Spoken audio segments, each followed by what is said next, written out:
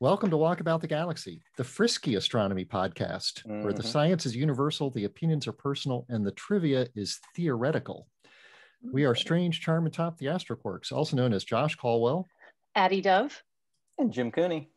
Coming to you from physically but not socially distanced locations near the University of Central Florida.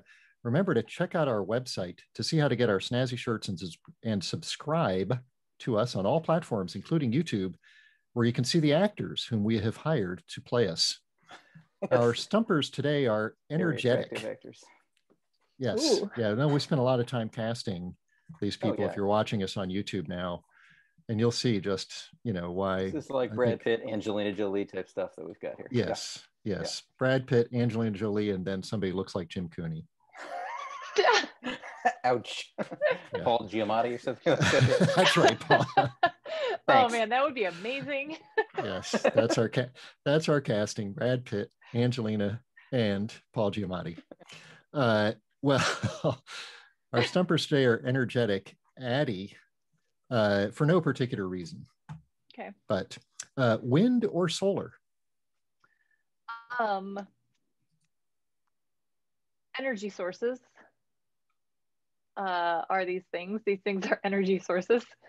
Um, there could also be spacecraft. There's a wind spacecraft and a, I don't think there's a solar, just solar, oh. solar probe, solar probe plus. There's the Parker um, Solar Probe. Parker and wind is an acronym for something that's orbiting the Earth and measuring solar wind. wind. Oh, yeah. the solar yeah. wind. Okay. Mm-hmm. Yeah. Um, it's like waves experiment.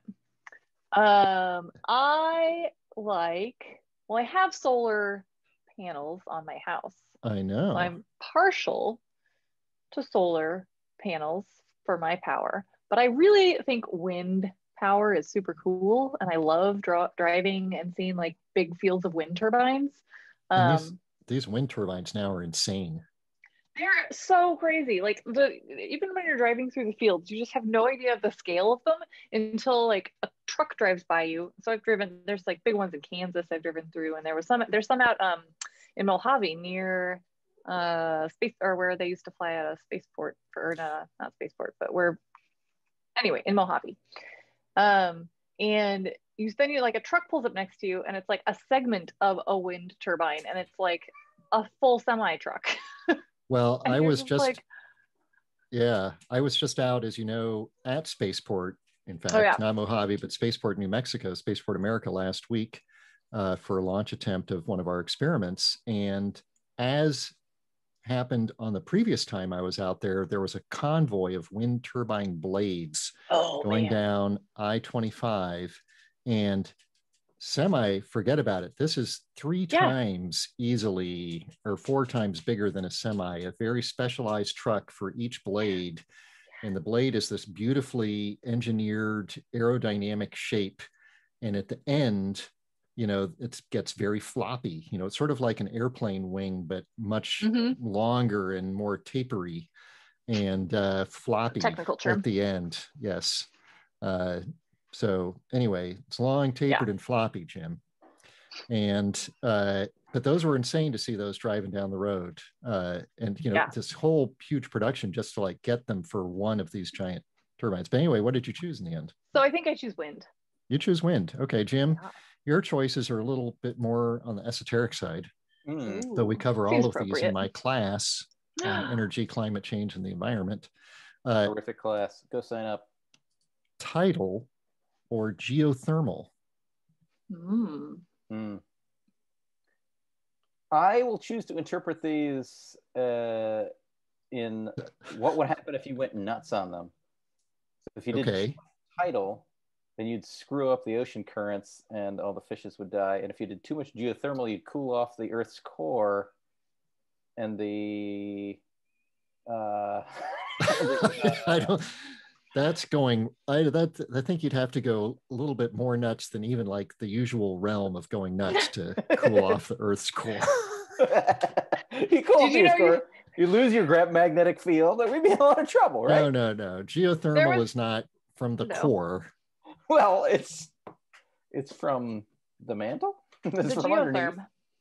i um, mean I did very, very much enjoy uh, the trip I once got to take to Iceland. I was very lucky to get to go there, whereas uh, uh, they have a significant portion of their energy is geothermal uh, because they're immediately above a hot spot, and it was friggin' awesome. So I'm going with that.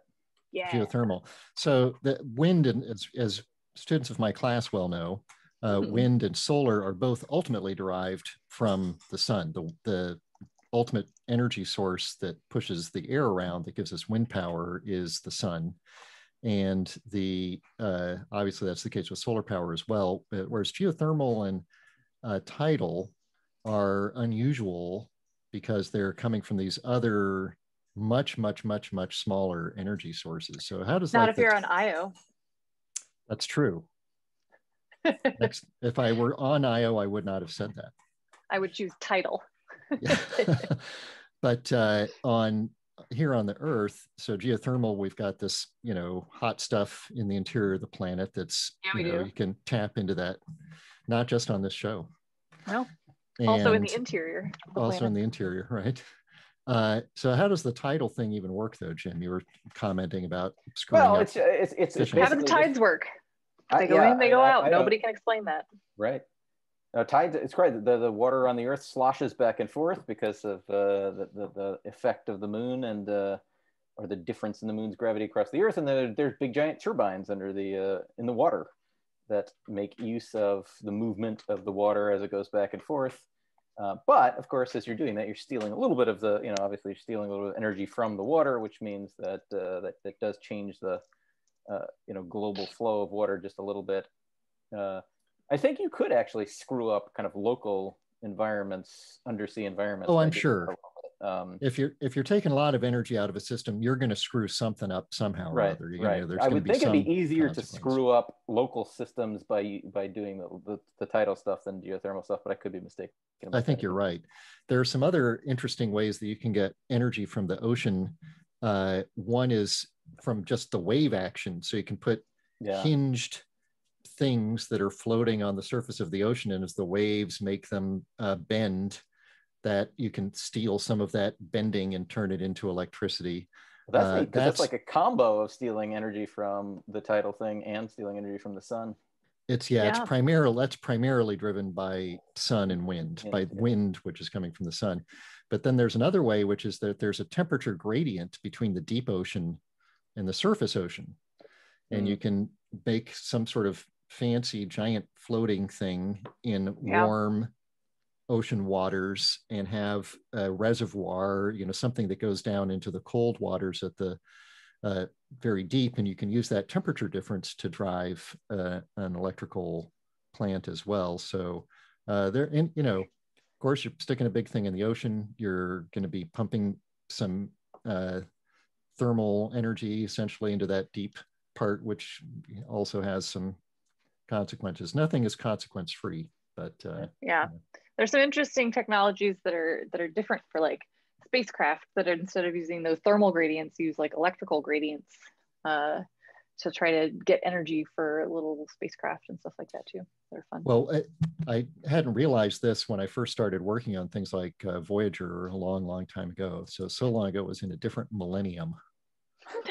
Uh, not that but, hard, uh, but but the uh, the radioisotope thermoelectric generators are basically powered by a thermal difference. So that's this yeah. uh, the uh, radioactive decay of the plutonium makes this electric this uh, metal boundary between two different types of metal puts a temperature difference on that boundary and it drives an electrical potential across there anyway yeah it's funny you, you hear that like spacecraft have nuclear power on them but it's actually just like little tiny pellets that are just creating heat Making and heat. that heat difference is right, what yeah, causes it's, does the energy for the spacecraft and it warms not, up your instruments not, uh, so. yeah it's not fission and fusion it's not the kind of yeah right yeah. nuclear power yeah. plants but we hear nuclear power and we think oh it's a big nuclear power plant and there's going to be a meltdown or anything but it's just something warm yeah. yeah yeah there's some cool new technology working on making that more efficient too because it's not super efficient right so right uh, but speaking of those nuclear powered spacecraft and Voyager, Voyager 2, we're talking to it again. There was a year Yay. of silence from the Earth. The DS, uh, Deep Space Network uh, antenna in Canberra, Australia, Canberra. has been upgraded and uh, is able to talk to Voyager, which is now for how old is it? Good grief, it was launched in 1977. That requires big math for me, 44 years ago. so More crazy. than me. Yeah. Uh, well, today we'll talk about things completely different. In fact, Yay. we're going to talk about hairy black holes. Oh my. Double holes in Germany. Maybe also we'll throw in some astronomy and astrophysics. You know, it could happen. It could, could happen, happen, on the Frisky Astronomy podcast. But first, this episode of Walkabout the Galaxy is brought to you by the Planck constant. Whether you want to know the energy of a photon or the quantum increment of angular momentum, use the Planck constant. This versatile quantity has been helping us discretize the universe for 120 years, doing away with the notions of continuous variables in atoms and light. But that's not all. If you're beating your head against the wall trying to get your measurements of position and velocity exactly correct, let the Planck constant save you from pointless grief and frustration by showing you that that is just not possible with our optional Heisenberg uncertainty principle available for a nominal additional cost. With units of action, you won't want to be caught with a without the Planck constant, wherever you're spinning, vibrating, or making any kind of venture into the quantum realm. The Planck constant. Don't leave home without it. MasterCard? I feel like that's right. You're both going with MasterCard? Karl uh, Malden, American, American Express. Express. American Express? Yeah. Yeah. Oh, I said it just before you did. You did say it, Jim. Right. I heard you. Credit. Was it before? I said Karl Malden, though, before he said American Express. Do you know who Karl Malden is, Jim? He's an old guy, an old actor. He's not playing you on the podcast. Do either no, of you remember? Do either of you remember traveler's checks? American Express yes, traveler's checks? I, okay. I do. My, my family used to use those, bring those on trips all the time when I was younger. Yeah. Cool. I've heard of them well, I, I, we used them too. Yeah. Our early, in our cash. early, yeah. In our early transatlantic trips. Uh, so space news, where it's we've been talking about the the all the excitement with the Mars missions. Mm-hmm. Two of those missions have successfully arrived. Yep. And Woo, still waiting on the third. Yeah, but just days away, uh, and is scheduled to make its uh, landing on Mars the day after this podcast will be published uh, on the 18th. And on our next episode, we will have uh, Addie and I will have a fellow Laspian. Yeah. Jim will yeah. have him also, but he's not a fellow Laspian for Jim uh, from the University of Colorado, uh, Professor David Brain, whom we will, I'm sure, only and always refer to as either Professor Brain or Dr. Brain. Dr. Brain. Dr. Brain. Uh, will be on our next. That as a surname before. That's fantastic, especially as a physicist. Yes. yeah. Yes. So yeah. uh, we'll be joined by we'll be joined by Dr. Brain. Yes. Uh, to talk about the Mars Hope mission on our next uh, episode. Um, we um, there's been some super cool photos that have come back from Hope, and then there's there were some cool videos I saw uh, from the Chinese orbiter that like were from when they did orbit insertion yeah. And like you see, and it's from it's like they were imaging the solar panels on the spacecraft and something else on the spacecraft, but you like see Mars come into view in the background, and it's like you can see craters, you can tell yeah. that there's an atmosphere. It's awesome. And then when the engines are firing, you can see that like the oh, panels yeah. are shaking around as the end as the yeah, that's very cool. Um, other space news: there's a launch tonight, which with any luck uh, we'll be able to see out our back window. Yeah, uh, scrubbed last night because of our weather. Crazy weather here. Um, Which, to be fair, is much better than everywhere else in the country, basically. At the moment, yes. Um, this is yet again more uh, Starlink satellites from SpaceX, which now owns more than one third of all of the operational satellites in Earth orbit. Uh, which is pretty amazing uh, considering that a few years ago there weren't any yeah. of these things in orbit. So yeah. uh, the number of satellites in orbit has grown significantly just with this one project. There are well over a thousand uh, of these yeah. satellites now.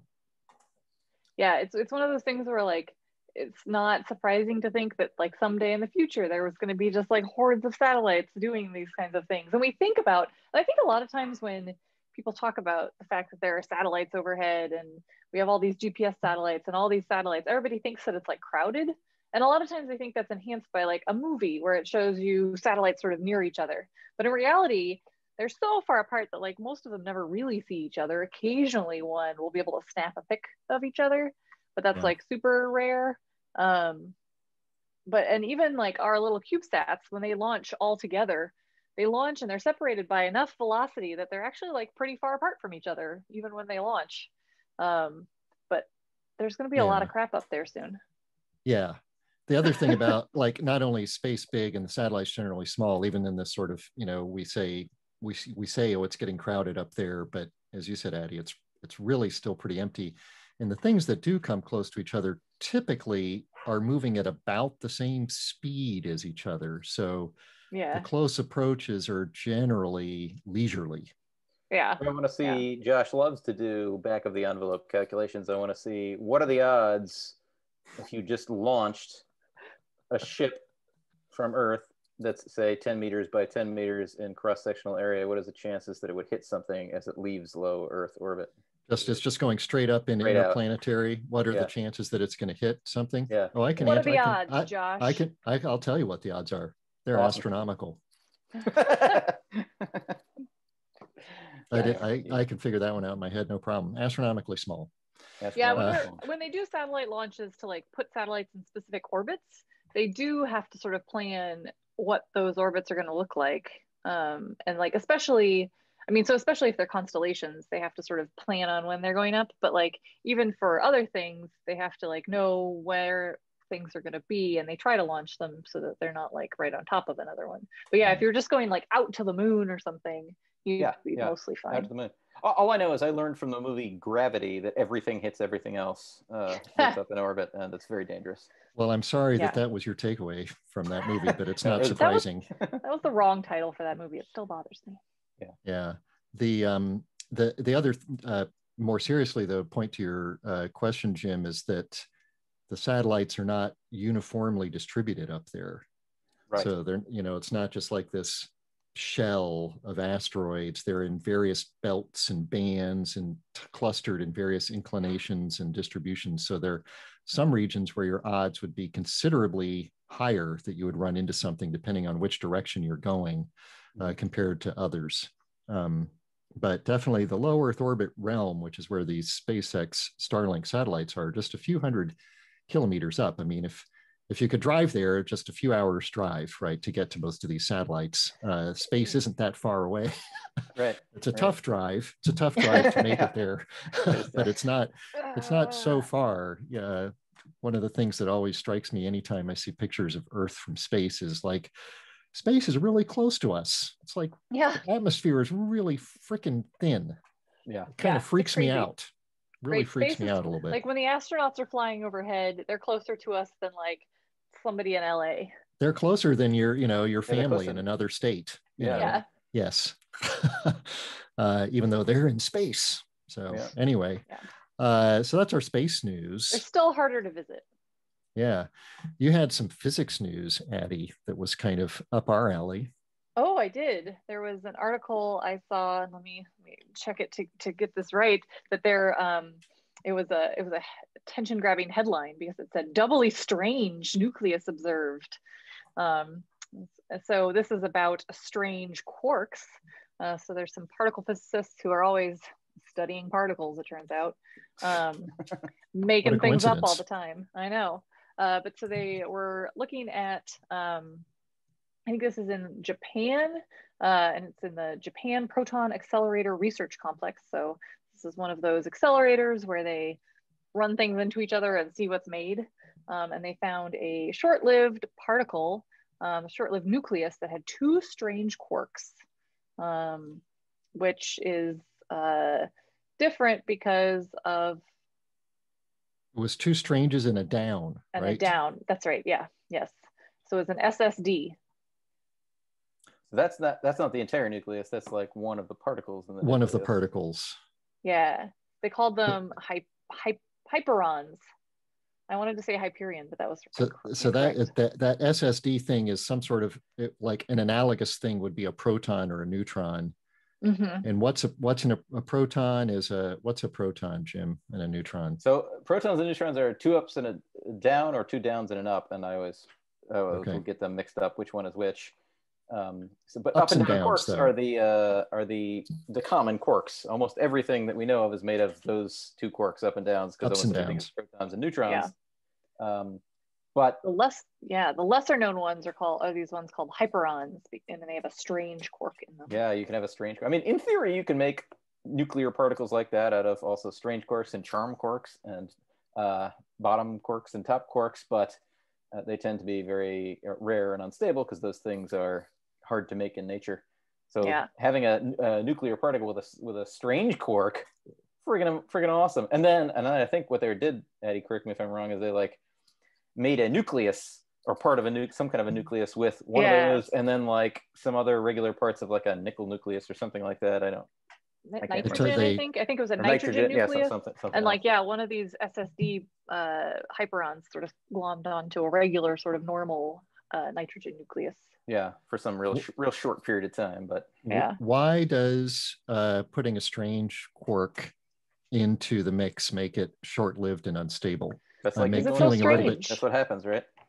Hmm? When you when you show up to a party, isn't that what happens? I know that I know that's what I'm like all of a sudden worried about. uh, I show up, everybody leaves. Mm-hmm. uh, it, no, but is there some fundamental property of the strange quarks are held together by gluons?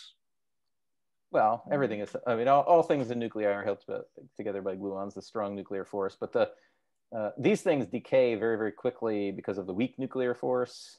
Um, and uh, I mean, so anyway, yeah, they're, they're, very, I mean, they're, they're extremely massive and unstable. And when you, you try to make nuclei with them, they just decay immediately. Uh, but that tells you some interesting things about fundamental physics when, when you can actually see these things and watch them decay.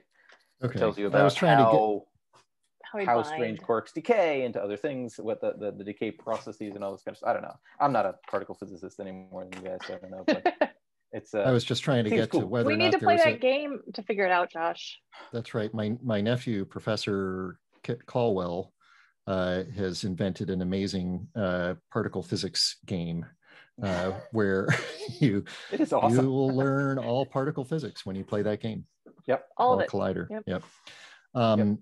I was what I was really trying to get at though is whether or not there was the germ of an idea for a science fiction novel, bestseller, movie, one of these things where there's some pl- world that's all made out of strange bearing subatomic particles. Starring yeah, Brad Pitt, I mean, Angelina Jolie, and, and Paul, Paul Giamatti. Paul Giamatti, of course. Right.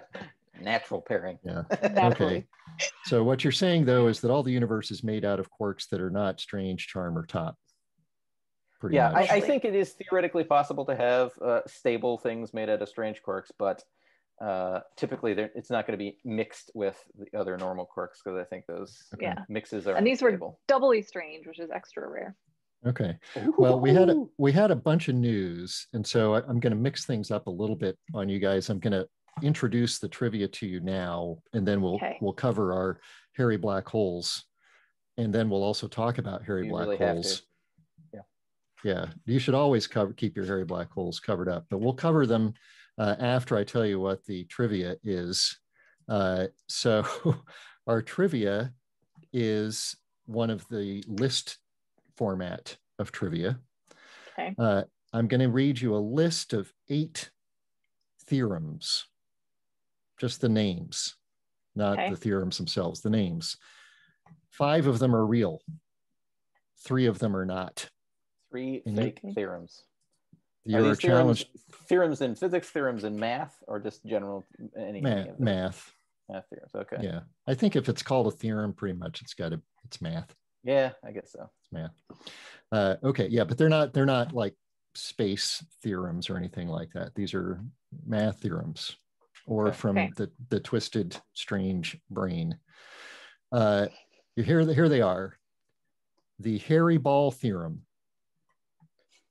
the high dive theorem, the palm frond theorem, the ham sandwich theorem, the ugly duckling theorem, the non squeezing theorem,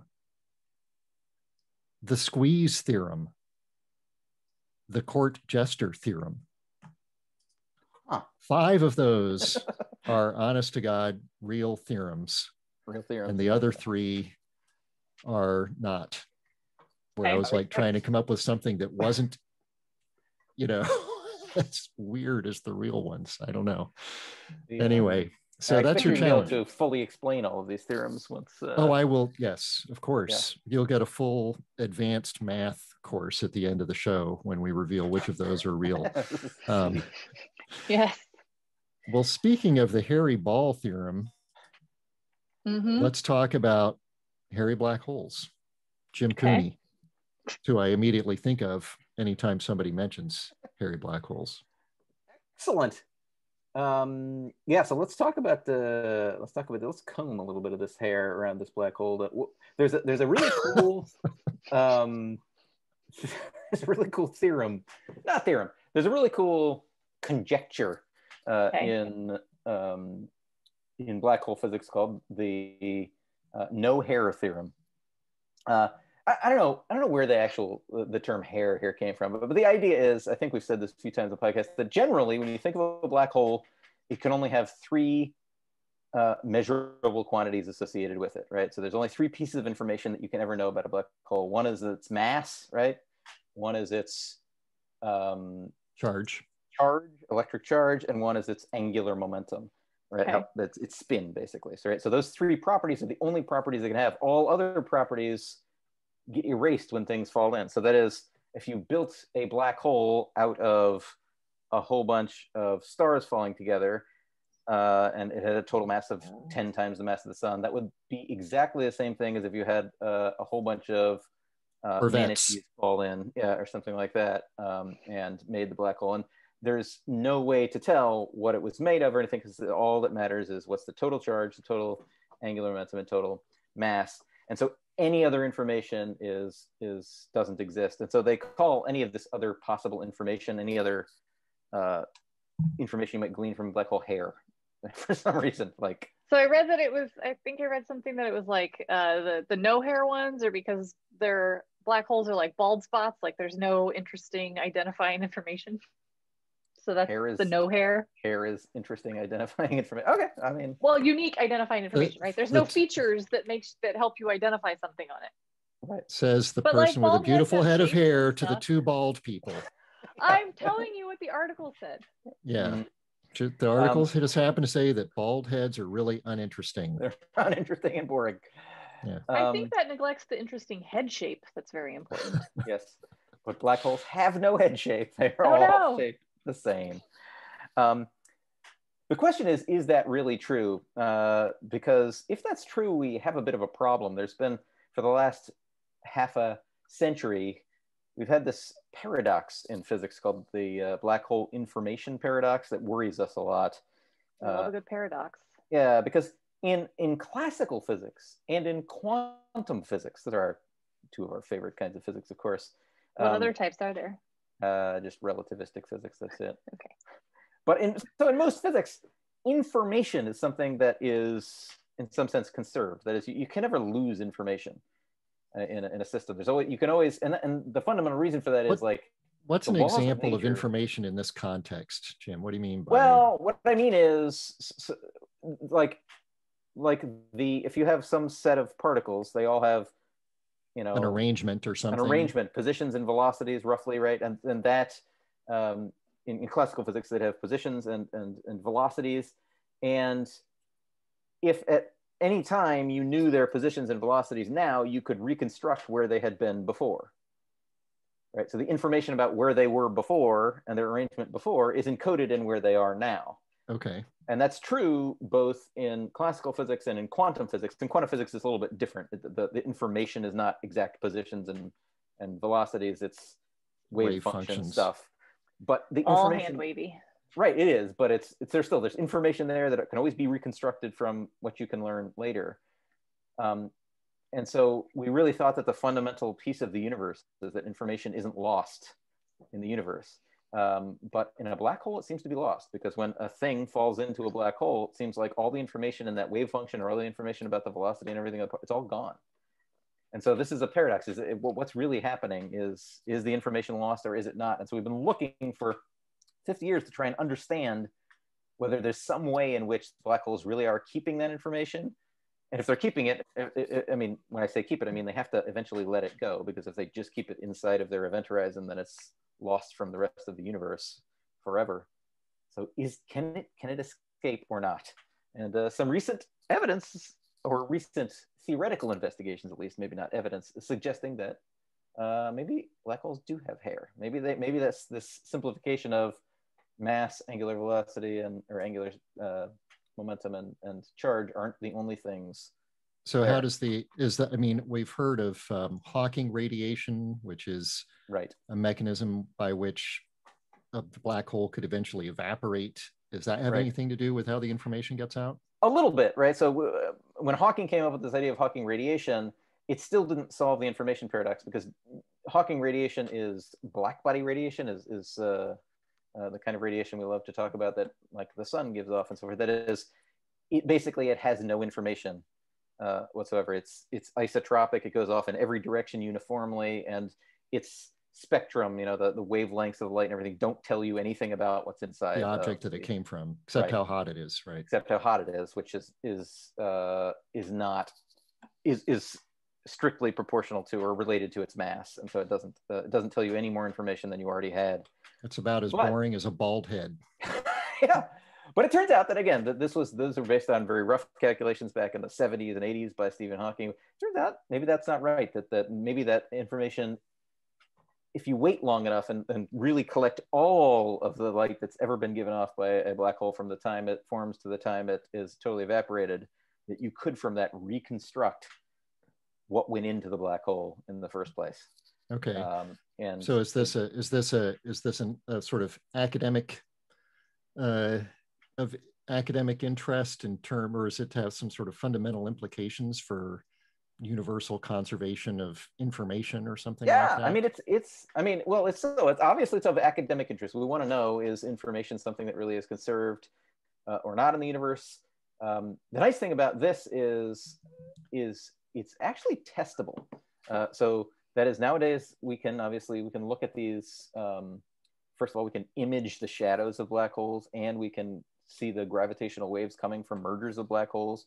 And those two things will be subtly different uh, in the cases of uh, hairy versus non-hairy black holes. And so uh, it, looks like not immediately, but sometime in the near future, we'll be able to uh, test whether the, these bad boys are hirsute or not.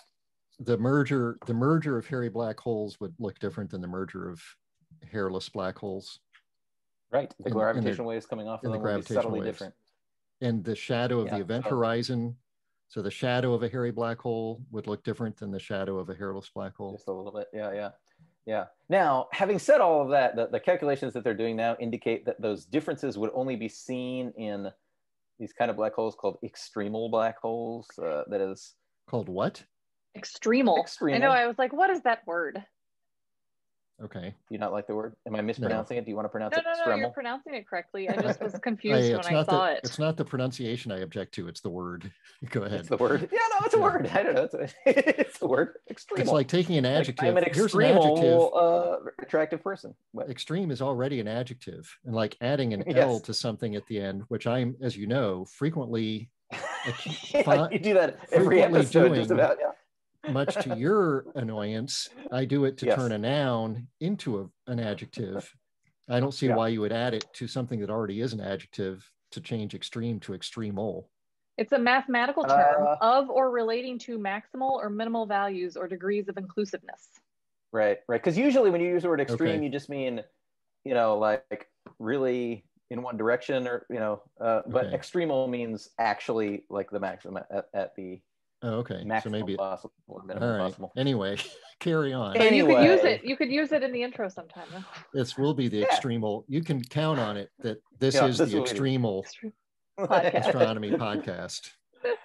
Um, but yeah, the extremal black holes just mean black holes that are essentially at or very close to you know, for a given charge or a given angular momentum, there's a minimum mass that you can have associated with those things. And if, and, and so it's, it seems like the calculations now are indicating that if you have one of those black holes that's at or near the extreme, uh, that those things might have hair. Now, it's possible that other ones do as well. It's just very difficult to tell because the, it turns out, I don't know if you guys ever tried to do a calculation in general relativity. It's freaking Not hard. general, only when I had to for classes. Yeah. Uh, but general relativity, it turns out Einstein's equations, which are the governing equations in general, Yeah. are, are crazy complicated equations. And, Yeah. Yeah. uh, and so even, what are we, a a hundred years, more than a hundred years beyond the uh, origin of the general theory of relativity, there's still only a handful of exact analytical solutions that you can write down and every other ones are approximate solutions that we're still working on. Uh, and Yeah. so uh, that's what's going on here. We're trying to work on those solutions and That's combine kind them a of little bit with quantum physics and it's uh you know it's What was crazy up with that guy? That dude was He was an alien. It's kind of crazy. Just kidding. Oh, Yeah. yeah yeah i thought one of the cool things about this and they talked about it in one of the articles was um just how it is like well it could be that there are these paradoxes with these theories but it could also just be that like we don't fully understand the mathematics and so as we're poking Right. at this we're finding things that maybe help explain some of these discrepancies that we can Mhm. understand better and it, it also is like so this is a, a new there's a new paper out about like finding these extremal conditions that some people some there did some mathematical models. And i read the abstract for the paper and mm-hmm. understood like every five words i think. Because there was a ton of like just jargon. And i was like oh my god i need a thesaurus or something well that's Yeah. why the astroquarks are here to try right. and Yes. distill down this ridiculous I, I agree i read these things as well. Yeah you think even the abstract they would try really hard to like yeah. make it Well, there useful, was to, some to- of the to- some of the journals are doing a nice like plain language summary now Right. of the abstracts oh, and i, don't like think that. you could do that for this i don't think these authors could do that i don't know and uh, yeah, and you can in some sort of very high level way, but it reminds me also of uh, just to touch base since we've got a little bit of a math theme going on in this show with our our mathematical theorem trivia, which we'll come to in just a, a few minutes after we talk about these craters in Germany.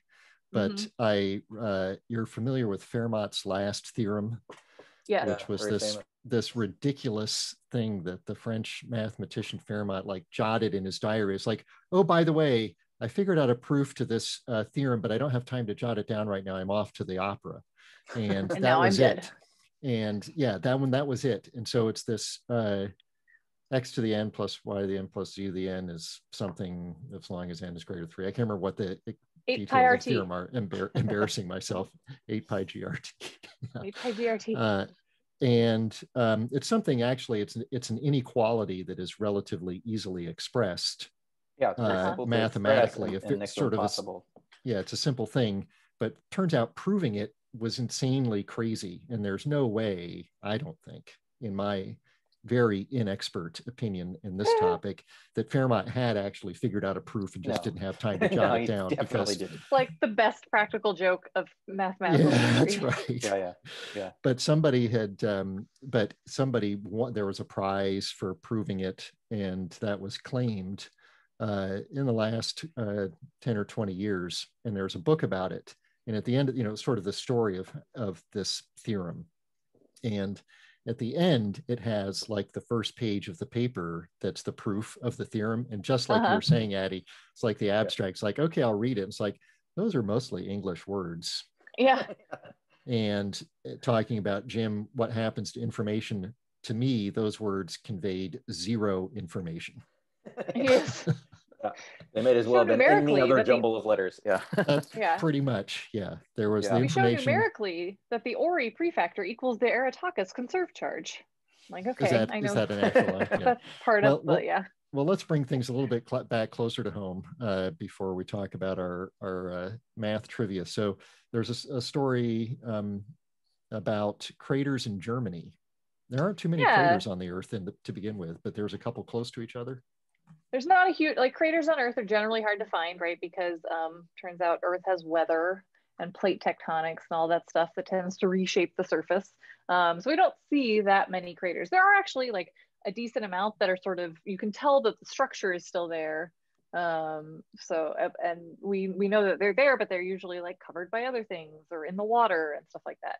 Um, but I guess there's a couple of structures that have been known for a little while in Germany. Um, I think there's something like 200-ish that we know of in the world, which is pretty low if you compare that to like a square inch of the moon. Right. but, Almost. yeah. Right. So the moon covered in craters uh, of all different shapes and sizes and scales. But um, on Earth, they're much harder to find. So anyway, there's these a pair of probably double craters that are uh, near Stuttgart, Germany. Um, that we've you known about. Both craters are double, or there's just two craters? What do you mean? Oh, good, good clarification. There are two craters. There's a pair of craters. Okay. Okay.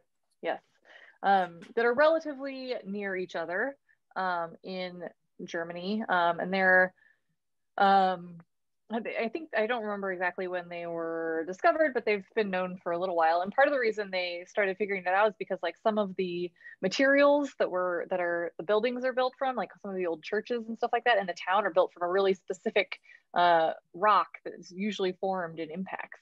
Um, so it's like some of the materials they've been used to build are from these like you need highly energetic events to create these. It's like sway, suevite. Right, like the churches and stuff are built from this particular, yeah. Yeah. Um, so the two crate the two craters are about 40 kilometers apart from each other, and I think one is like uh, 24 kilometers and one is four kilometers in diameter. Um, and for a while, like so craters are rare on Earth, they're hard to find. So for a long time, we've assumed that they were sort of coincidentally formed. Like you'd expect that maybe one hit and then they were formed at the same time because it's just like the odds of them forming independently. one location independently seem very low. And it's not that like earth in the past hasn't been hit a lot. It's just that like it just seemed the statistics seem low. Wind and life and rivers and earthquakes yeah. and volcanoes and all this stuff tends to cover these things up. Yeah. And, and early on in earth's history it was hit all the time. Um, and so there would have been a lot more of this impact record but it's been it's now because of our atmosphere and all of that we get hit less um, things calm down over time. We just don't get hit as much anymore with big things, thank goodness. Um, but anyway, so, but there's a new paper out um, that is, again, a very uh, jargony paper that I think I understood the abstract pretty well um, because I do know some geology words. Uh, but it's a very geology heavy paper. Um, but about how this these two craters um, are probably actually independently generated. So how old are these craters? When did they form in the first place? Um, the middle Miocene. So it's like 14 which, or 15 million years ago or something like that. Yeah. So, so, so these they, are these are post dinosaur, but they're old, old, old. This isn't like yes. Tunguska or anything like that. Yeah, something like 14.8, 14.3 billion years. And so they think maybe million. one is about 14.3, sorry, yeah, million. 14.3 and one is 14.8 million mega okay. annum. Okay. Yes. Yeah so they they so the the way that they determined because double craters are a thing and we actually do see double craters on the moon and on mars places where you do have a lot of craters because sometimes you'll and sometimes we even see these like crater chains. Yeah and those are usually like, due to like either well and you were gonna you mentioned Shoemaker-Levy earlier right? Where you have yeah some like something that broke apart and it ends up with this chain of material hitting the surface. I saw um, a similar thing in an amazing movie that i saw called deep impact where the thing broke up and uh there was multiple impacts although they weren't right oh, next wow. to each other. Yeah, yeah, broke up from you know astronauts blowing up a nuclear bomb on them so any of these things can break things yeah. up into multiple parts tides yeah. you know or astronauts. Yeah so we do um, see we do see structures on other bodies where you get like you, you were saying it's like not coinc- it's not chance coincidental it's coincident because it was the same incident yes. it was two things that are or you know were moving along together and they go bam bam into bam. yeah but they yeah. but now so the reason the way they were able to determine that these are probably not that is because of like aging them and determining that one is half a million years older than the other one. Yeah, they've done a bunch of different analyses of like the geology of the region and some of the structures and, and looking at. Um, so when you get impact, you obviously get impact melt usually, but you get a lot of fracturing of the surrounding rock. You also get sort of in extended regions, you get things like shaking and earthquake type effects. Mm-hmm. Um, and also like just material gets moved around differently. So you get um, just material sort of injected a lot of times different places and what are called dikes, um, which is like a chunk of material that comes up inside of another material usually. Um, and um, so there's all sorts of interesting uh, layering happening here. Um, and they think that probably in some of the, and they look in some of the different regions. Um, and so it shows them that probably the Ries impact happened first, probably about 14.8 million years ago. Um, and then there was that's some other, that's, that's, the, the 24 kilometer one. one. Yeah. Mm-hmm. Yeah. Um, and then there were some other things that disturbed the region a little bit. Um, and then there was the Steinheim impact about 0.5 billion years ish later. There's like, like a question mark next to that one. So, right. So these guys, these two craters, 24 and four kilometers across, you said. So typically mm-hmm. the thing making a crater ballparkish about a tenth of the size of the crater. So it would have been something about uh, about the size of the deep impact impactor, in fact. Oh. So, yeah. It would a significant event, uh, especially yes. if you had been in Germany at that time. Yes. Yeah. yeah. Um, there cool. was one issue I had with uh, some of the language is that like they oftentimes in the article they in the article they referred to it as a binary asteroid impact, which oh. like oh. I just had an issue with because you can get two things hitting that are related to each other and are probably part of an asteroid that aren't like a binary asteroid. Binary right? so is like get, the Earth and the Moon. It's two yeah, orbiting each other. And we there are there are tons of binary asteroids out there. Something like at least half of asteroids are probably binaries. I think I forget what the statistic. We need to uh, call up Tracy Becker and ask her what the statistics are. But um, a large number of asteroids are binary or even tertiary, ter- trinary. Trinary. trinary? Mm-hmm. So where there's three orbiting, um, sort of a common center of mass. But like, you can also just have a asteroid that gets broken up and the little bits are flying off, which is how we right. get a lot of our meteorites. Um, and those pieces fall down at the same time. So it doesn't have to be a, like a binary asteroid. Necessarily so binary. That was yeah. my. And in this case, they seem to be, it's completely independent. And then so the coincidence, as you were saying, Earth gets hit a lot in 500,000 years in between these two things. That's, that's sort of coincidental, but that's not like those are the only two things that hit the Earth in that million years or so. And uh, the coincidence is maybe they're landing in a place where craters were able to sort of withstand the the the tests of time for 10 or 15 million years since they were formed so yeah okay yeah it could just be that yeah this area the the material they're in somehow preserved it better so yeah. it's interesting though. And I guess there have been some more of these sort of doublets found around the world, but they're still pretty rare. Yeah. Well, speaking of uh, rare, mm-hmm. that has nothing to do with our trivia, but uh, I'm going to read you the eight theorems. And as okay. I'm reading them, you're going to think which three you think I've made up. Okay. Okay. So here We're they are. Can we just say true or false as we go? If you want, if that's what you want to do, sure. That's going to help us because then we're going to know. But oh, yeah, it does that's help okay. you. That's good. I, because... You can say true or false. I just won't tell you whether you're right or not until I'm done. well, okay, I'm just not going to remember all of them at the end to say which are true and which are false. As we're going through, just make a note. Real or it's not real. Okay. Okay. Jot it. You can jot it down. The Hairy Ball theorem the high dive theorem, the palm frond theorem, the ham sandwich theorem, the ugly duckling theorem, the non-squeezing theorem, the squeeze theorem, and finally the court jester theorem. Okay. All right. And so I feel like one of those, those could be real. Only five, five. Well, that's. I pick Ugly Duckling. As as one of the not real ones. Yeah. I pick uh, as one of the not real ones the high dive theorem. Okay. Uh, the ugly duckling theorem is real. The high dive theorem is not. Oh, one for Jim. Okay. okay. Plus, I've now like... eliminated ugly duckling from consideration for. Yeah. Okay. So I feel like either the either the the squeeze or the not squeeze, one of those is not real. The ugly duckling theorem is an argument that says that it's not possible to do any kind of classification without some sort of bias. And so I'd really love to like look into that in more detail because it's pretty interesting. So it's a mathematical yeah, like theorem. A mathematical theorem. That's weird. It's a mathematical theorem that says if you're going to categorize anything, somehow you're going to end up with some kind of I don't I don't understand. It looks really scary outside my house right now. Okay. Two more. Pick um, both. The squeeze I, theorem is fake. That's what I was going to say too.